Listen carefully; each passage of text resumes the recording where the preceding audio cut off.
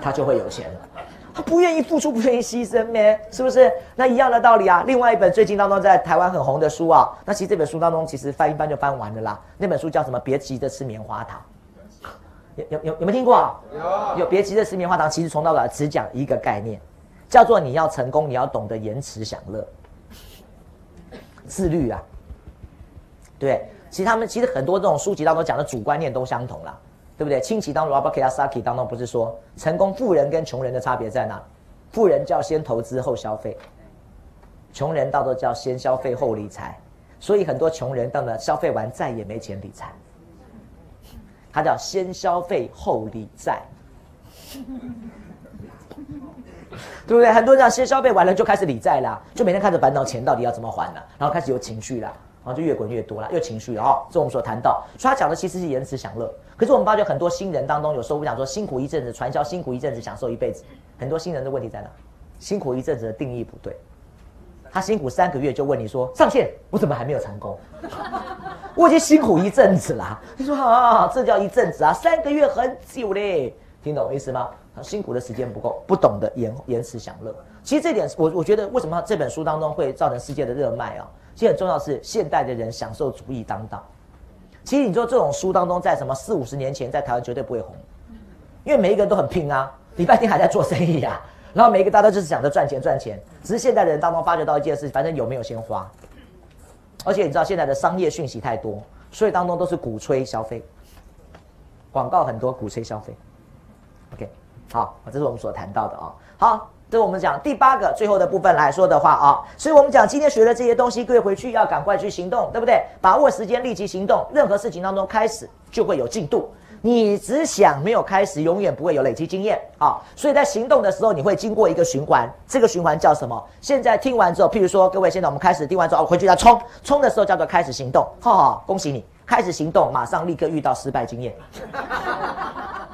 各位听得懂我意思吗？你一开始当中就一定会遇到一些挫折嘛。可是老师要跟各位讲，你不做永远不知道哪里不懂。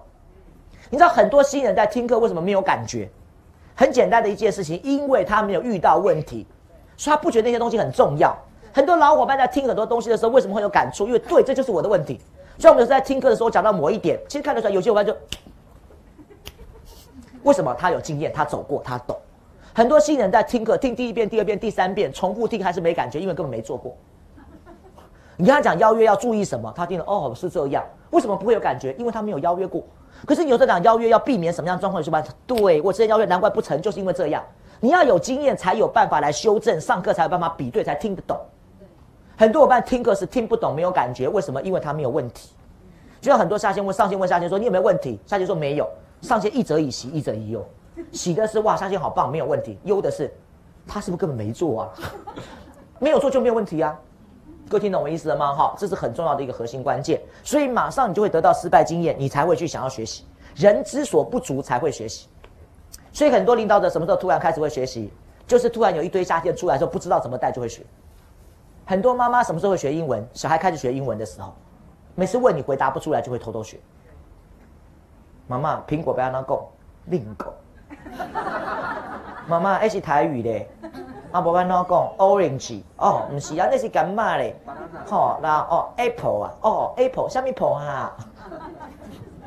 对不对？好，好，OK，好，得到失败的经验跟学习的时候，接下来你会怎么样？才会去珍惜你的上限，跟你的上限成功的上限导师讨论，并且寻找问题解决的方式。寻找问题解决方式当中，立刻调整修正，然后怎么样？再开始行动。再开始行动的时候，就会重复当中又遇到一些另外的问题，听懂吗？这边重复失败跟学习，各位，我们讲这个失败叫过程，它不是真正的失败，其实应该叫挫折了。严格说起来当中，不要用负面，当中不叫失败，就是短暂的挫折。这挫折就是刚你，让你知道哪里还不会，哪里还不会，哪里还不会。宁可前面当中多一点的挫折，听得懂我意思吗？哦，就像上个礼拜的这个上一期的这个商业周刊讲的就是讲失败学嘛。